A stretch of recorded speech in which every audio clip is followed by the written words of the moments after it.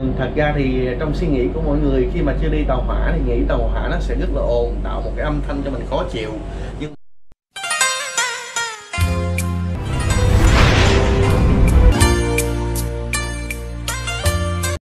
À, dạ Bùi Hồ xin chào cô bác quý anh chị ạ. À. Thì hiện nay 9 giờ hơn Bùi Hồ đang có mặt tại ga Lào Cai thuộc tỉnh Lào Cai.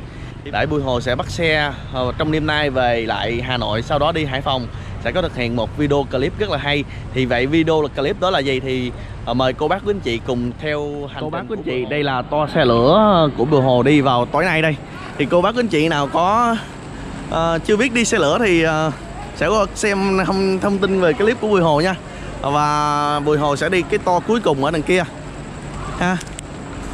Rất là đằng sau luôn theo anh bảo vệ theo anh này hướng dẫn mình sẽ ở ở đâu đây ta? Đây đây tầng này của em tầng 2 nhỉ? Vâng. Vâng vâng. Cảm ơn anh nhé. Vâng. Ở phòng này. Phòng này nghe. Vâng cảm ơn anh nha. Và đây là cái của mình từ uh, cái số của mình. Từ 59 uh, mình phòng của mình 4 giường. Từ 59 đến 62 và mình số 59 ở đây. Ở đây là cái cái phòng của mình ở bên này ở bên đây vẫn chưa có người nha. Đây có hai bạn bên đây à, nhìn cái hành lang nó đẹp đi đưa lối đi nó đẹp lắm luôn á.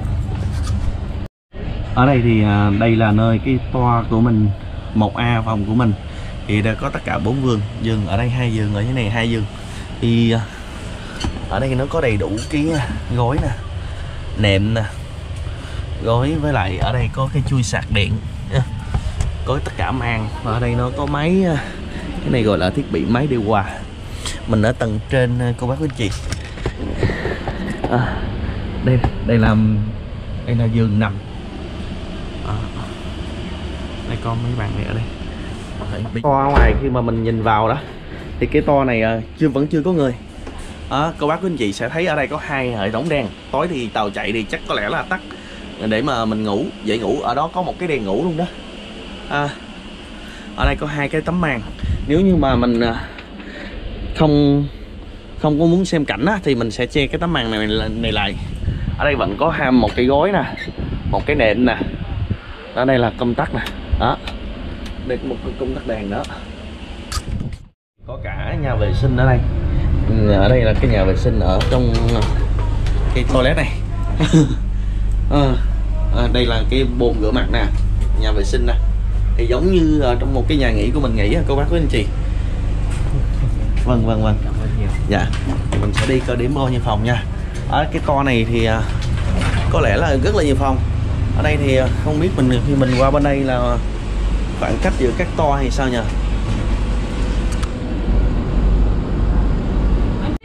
ờ, mình sẽ đi qua đường này. Anh nó báo là bên đây thì sẽ có Ôi đây có bồn rửa mặt luôn nè. Thấy không? Ừ. Kia anh nói là mình cứ cứ đi thẳng vào thôi. Ở đây thì uh, Vẫn giường Và mình đi thẳng uh, to này là Không biết là to thứ mấy Nhưng mà mình Mình đi quăng sang to thứ hai rồi. À, Mọi người báo thì ở đây nó có sẽ có ăn uống ở đây luôn. À, đây là to này đến ăn uống ở đây. Ơi ở đây phục vụ ăn uống hả anh nhỉ dạ dạ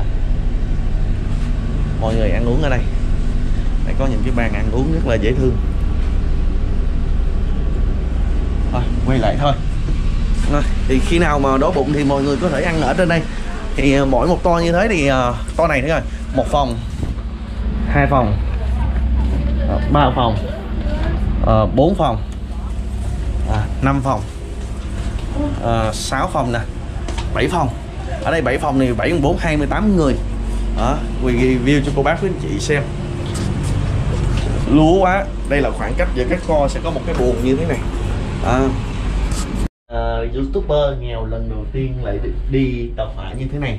Review cho cô bác với anh chị cùng xem để mình biết được khi mà mình đi tàu như thế nào cho nó khỏi bỡ ngỡ nha. Thì uh, đây là một cái to của mình. Uh, mình cứ nghĩ là khi mà tàu nó chạy thì nó sẽ rất là ồn và ở đây mình có thể không nghỉ ngơi được nhưng mà thật ra, ra thì à, khi mà đến đây đó thì mọi thứ ở trong này mình nghĩ là nó ở ngoài là nó bằng sắt thì trong này nó sẽ nó sẽ kêu rất là ồn. Nhưng mà ở đây tất cả đều cái thiết bị ở đây được làm bằng gỗ hết và rất là kiên cố. Có những luôn cả những cái vòng kính cho mình thoải mái mình ngủ, ngủ nghỉ ngơi. Mỗi giờ vợ mệt mỏi mình chọn cái phương án này để giới thiệu với cô bác với anh chị về một hình thức đi xe lửa nha đó là những cái à, cái đường dây của xe lửa nó chạy cô bác quý anh chị à, chúng ta thấy không? Thì ở miền Nam của mình á, thì à, không có tàu lửa nên không có tàu hỏa như thế này nên mình à, phải review lại coi như là một cái thước phim kỷ niệm. Cũng như là những người ở miền Nam chưa có dịp đi tàu hỏa thì chúng ta sẽ được biết nhiều hơn. Và đây là cái nội quy đi tàu ha. Mình phải mua một cái vé mình phải đặt trước.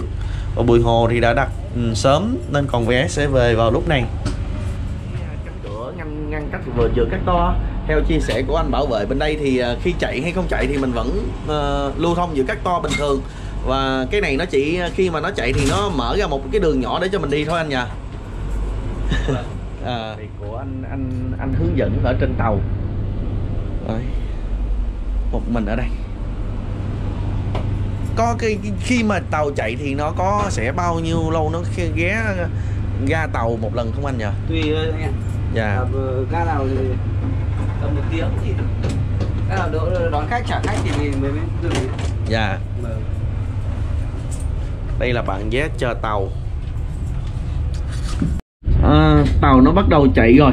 À, nhìn cái người ở dưới kia thì chúng ta có thể thấy được tàu nó đang đang chạy. Và ở đây cái cảm giác nó rất là êm và nó dễ chịu luôn không khó chịu như mình nghĩ trong suy nghĩ của mọi người khi mà chưa đi tàu hỏa thì nghĩ tàu hỏa nó sẽ rất là ồn tạo một cái âm thanh cho mình khó chịu. Nhưng mà khi đến đây rồi ở đây nó có máy lạnh điều hòa rất là ổn định và rất là thoải mái luôn. Chỉ có cái là thức ăn chắc nó sẽ hơi mắc hơn so với ở ngoài thôi. Thì video clip của Bùi Hồ này muốn gửi cho cô bác quý anh chị biết rằng một cái chuyến đi tàu hỏa